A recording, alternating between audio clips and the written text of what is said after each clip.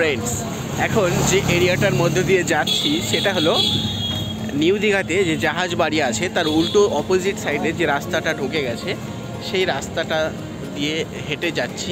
এখানে প্রচুর হোটেল প্রচুর হোটেল দেখতে পারো। আমার পিছনে দেখো হোটেল কোরাল, যেটাতে আমরা আগের বছর ছিলাম। হ্যাঁ আর এর পিছনে দেখো গাদা পরপর পরপর প্রচুর হোটেল আছে। ওয়েদারটা খুব সুন্দর, প্রচণ্ড হাওয়া দিচ্ছে। বাইরে। এই হোটেলগুলো হলো সব নিউ দীঘাতে যে জাহাজ বাড়ি আছে, সেই জাহাজ বাড়ির সন্নিকট হোটেল। নীল সমুদ্র। এটা দেখো হোটেল শান্তিনিকেতন, অনেকটা ফেমাস এটা। দীঘা পশ্চিমবঙ্গের একমাত্র সমুদ্র কেন্দ্রিক ভ্রমণ কেন্দ্র। কলকাতা থেকে একশো সাতাশি কিলোমিটার দূরে মেদিনীপুর জেলায় এই দীঘার অবস্থান। সমুদ্র, বালিয়াড়ি, ঝাউবন এবং প্রকৃতির অপরূপ সৌন্দর্য যেন অপেক্ষা করে থাকে ভ্রমণ পিপাসু পর্যটকদের জন্য। দেখো দীঘার ট্রাভেলিং বাস এখন ঘড়ির কাটাতে বাজে এগারোটা তেইশ, তো এখন যাচ্ছি। এখন যাচ্ছি ওল্ড দীঘা। এখানে আমরা টোটো বুক করেছি। তো টোটোতে বুক করে যেতে একশো টাকা লাগছে নিউ দীঘা থেকে ওল্ড দীঘা যেতে। তো তোমরা যতজনই যাও না কেন, একশো টাকায় লাগবে। তো আমরা যাচ্ছি ওল্ড দীঘা এই রাত্রিবেলায় সেখানকার কীরকম দৃশ্য, সেখানকার কীরকম মানুষের জনজোয়ার, সেটা তোমাদের সামনে তুলে ধরবো। তো এখন চলে এসেছি ওল্ড দীঘা তো এখানকার রাত্রিবেলাকার দৃশ্য দেখো। একটু ভিড় কমই আছে আজকে। যেহেতু মন্ডে ওই জন্য। রাত্রি অনেকটা হয়ে গেছে ওই জন্য দোকানপাট সব বন্ধ হয়ে গেছে। দীঘার নাইট ভিউটাই এনজয় করো আমার ভিডিওর সঙ্গে। দেখো বিচটাও পুরো শুনশান। অনেকটা রাত হয়েছে এই কয়েকটা দোকান খোলা আছে ড্রাই ফ্রুটসে দেখতে পাচ্ছ কাজু বাদাম। ওল্ড দীঘাতেও দেখো সমুদ্রের পাশে বেশ কয়েকটি হোটেল রয়েছে। যেখানে তোমরা সি ভিউ হোটেল যেখানে থেকে সমুদ্র দেখতে পারবে। এই হোটেলগুলো তোমরা বুক করতে পারো।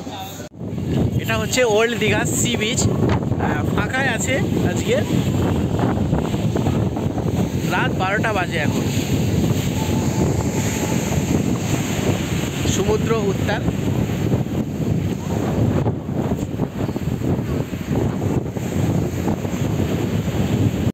এই হলো সমুদ্রের ঢেউয়ের গর্জন এবং তীব্র বেগে প্রবাহিত বাতাসের শব্দ, ন্যাচারাল শব্দ।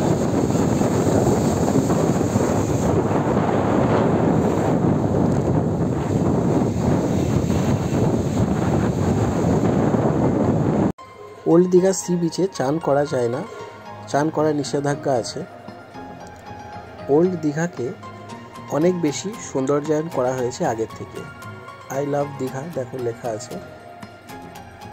এগুলো ওয়েস্ট বেঙ্গল গভর্নমেন্টের পক্ষ থেকে এগুলো সব করা হয়েছে। এবং ওল্ড দীঘা এই সি বিচের পাশে পার্কও নির্মাণ করা হয়েছে। তোমরা সেখানে বসে বসেও অনেকটা কোয়ালিটি টাইম স্পেন্ড করতে পারো। আই লাভ দীঘা এই যে গেটটাকে ওল্ড দীঘা সি বিচের এই গেটটাকে লাইটিং দিয়ে বেশ সৌন্দর্যায়ন করা হয়েছে। তবে সবাইকে বলব এখানে আসতে হলে একটু সন্ধ্যার দিকে আসুন। সন্ধ্যার দিকে জায়গাটা জমজমাট থাকে, প্রচুর দোকানপাট বসে এবং রীতিমতো মেলাও বসে। তো সন্ধ্যার টাইমে আসলে আরও অনেক বেশি ভালো লাগবে। সমুদ্রের ভিড়ের সঙ্গে সঙ্গে এখানকার মেলার পরিবেশ সব কিছুটাই উপভোগ করতে পারবেন। সন্ধ্যার দিকে আসলে।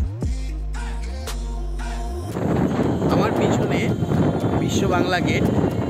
ওল্ড দীঘাতে। এখানে প্রচণ্ড হাওয়া দিচ্ছে এক কথায়।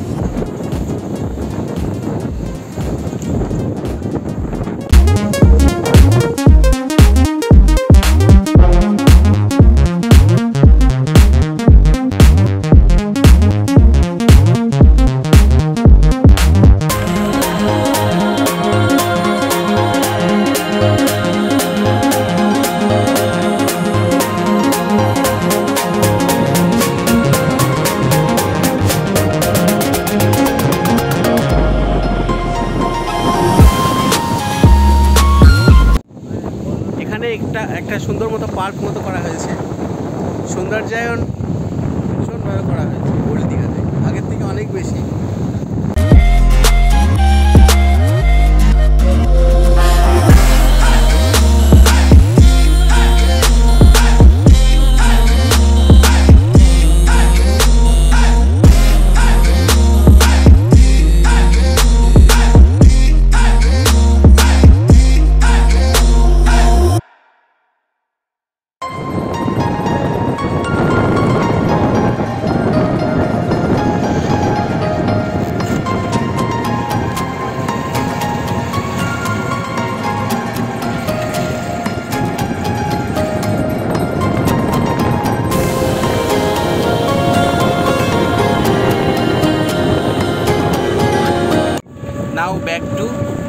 সি বিচ তো নিউ দীঘা সি বিচের দৃশ্যটা দেখাবো।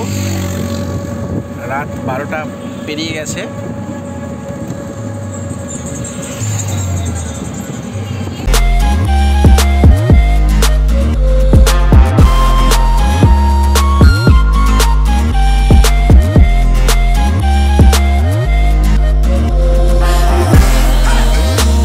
ঘড়ির কাঁটায় রাত একটা কুড়ি। এখন নিউ দীঘা সি বিচের ধারে। চারিদিকে কেউ নেই, দেখো। ফাঁকা, পুরোটাই ফাঁকা। এদিকটা দেখো। ওই দূরে কয়েকজনকে দেখা যাচ্ছে, তাছাড়া সেরকম কেউই নেই। পুরোটাই ফাঁকা। একটার পর একটা ক্লান্তিহীন অবিরত সমুদ্রের বুকে তৈরি হওয়ার ঢেউ আছড়ে পড়ছে সমুদ্র তটের বালিয়াড়িতে। কুড়ি বাজে রাত এখন। সকালে সমুদ্র তটে দেখা মিলবে পায়ে পায়ে হেঁটে চলা নানা বর্ণের শামুক ঝিনুক এবং শঙ্খে চারিদিকে যতদূর চোখ যায় ততদূরই শুধু জল।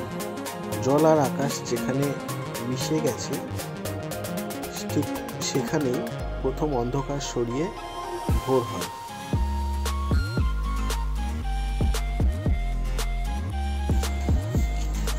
এই দোকানটা খালি খোলা আছে তো বন্ধের তোড়জোড় চলছে।